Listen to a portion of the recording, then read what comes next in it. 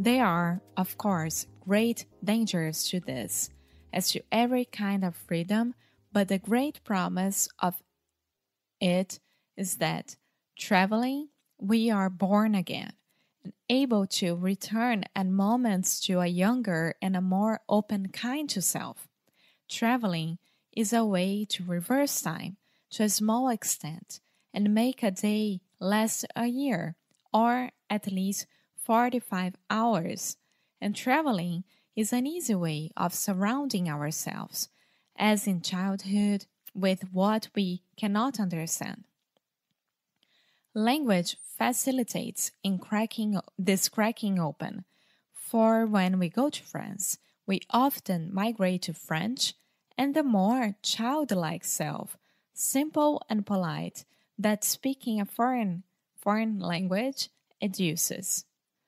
Even when I'm not speaking pidgin, English in Hanoi, I'm simplified in a positive way and concerned not with expressing myself, but simply making sense.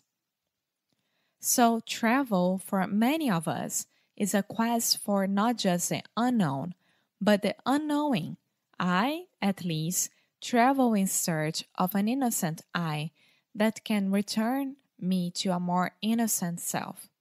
I tend to believe more abroad than I do at home, which, though treacherous, treacherous, treacherous, which, though treacherous again, can at least help me to extend my vision, and I tend to be more easily excited abroad and even kinder. And since no one I meet can place me, no one can fix me in my resume.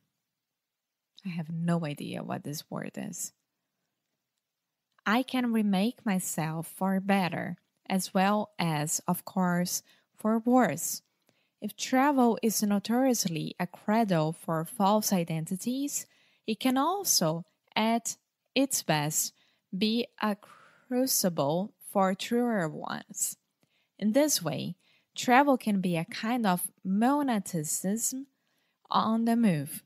On the road, we often live more simple even when we're staying in a luxury hotel with no more possessions than we can carry and surrounding so surrendering surrendering and surrendering ourselves to chance this is what camus meant when he said that what gives value to travel is fear disruption in other words or emancipation from circumstance and all the habits behind which we hide.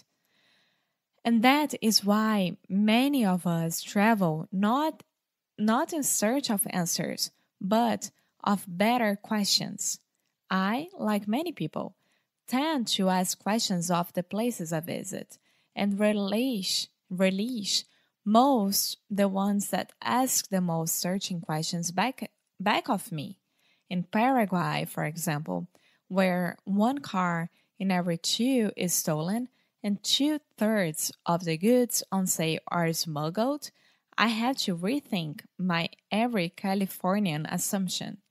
And in Thailand, where many young women give up their bodies in order to protect their families to become better Buddhists, I have to question my own too ready judgments.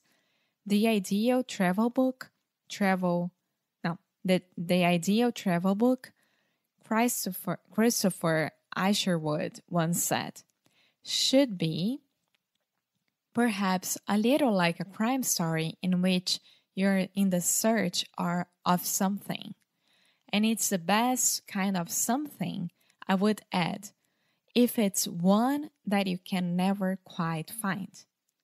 I remember, in fact, after my first trips to Southeast Asia, more than a decade ago, how I would come back to my apartment in New York and lie in my bed, kept up by something more than jet lag, playing back in my memory over and over all that I had experienced, experienced, and paging wistfully, th- though my photographs and reading and rereading my diaries as if to extract some mem- some mystery from them.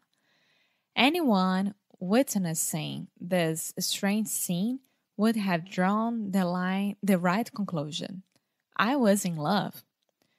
For if every true love affair can feel like a journey to a foreign foreign foreign foreign country where you can't quite speak the language and you don't know where you're going and you're pulled ever deeper into the invitation inv- inviting darkness Every trip to a foreign country can be a love affair where you're left puzzling over who you are and whom you've fallen in love with. All the great travel books are love stories, by some reckoning from the Odyssey and the Aeneid to the Divine Comedy and the New Testament. And all good trips are, like love, about being carried out of yourself and depo- deposited in the mites of terror and wonder.